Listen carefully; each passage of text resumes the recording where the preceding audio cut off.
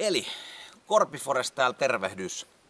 Me ollaan äh, täällä Rangunkorven tilalla, eli me ollaan äh, meidän etäjuurilla, jos näin voidaan sanoa, jostain näkökulmasta.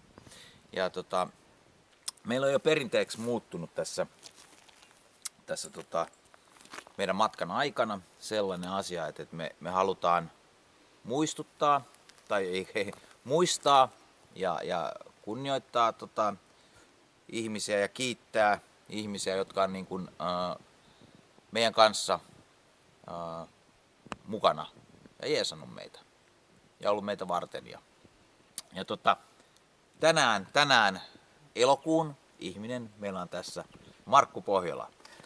Uh! Eli, eli tota, Markku on ollut tässä mukana alusta saakka. Ja hän, hän on tota, uh, uh, ollut, ollut mun mielestä niin kuin, aina siinä niin kuin ymmärtäväinen ja, ja kannustava, mutta myöskin kriittinen asioiden suhteen. Ja antanut, antanut niin kuin tukea, tukea niin kuin monessa asiassa ja uskonut meihin, meihin tässä näin ja, ja myöskin, myöskin sitten ää, ollut silleen niin kuin tavoitettavissa, kun on tarvinnut tämmöisiä näkökulmia.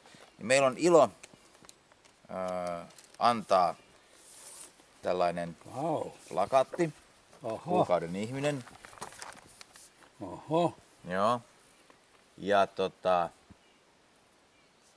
tämän lisäksi meillä, meillä on tota, myös täältä tämmöinen tota, aina kuukauden ihmiselle myös perinteistä luksemburilaista Kuohuviini. kuohuviiniä. Kuohuviinia. Kyllä. Aiku hieno, aiku mm. hieno. Joo. Suuret kiitokset tästä tota, huomionosoituksesta, jota varmastikaan en ole ansainnut. Mutta tiedän, että Korpi Forest on, on tuota, hyvinvoinnin ja tulevaisuuden asialla ja toivotan siihen voimia ja, ja, ja tuota, taitoja ja kaikkea hyvää. Kiva. Kiitos. Kiitoksia. Kiitos meille. Kiitos teille. Kiitos sulle.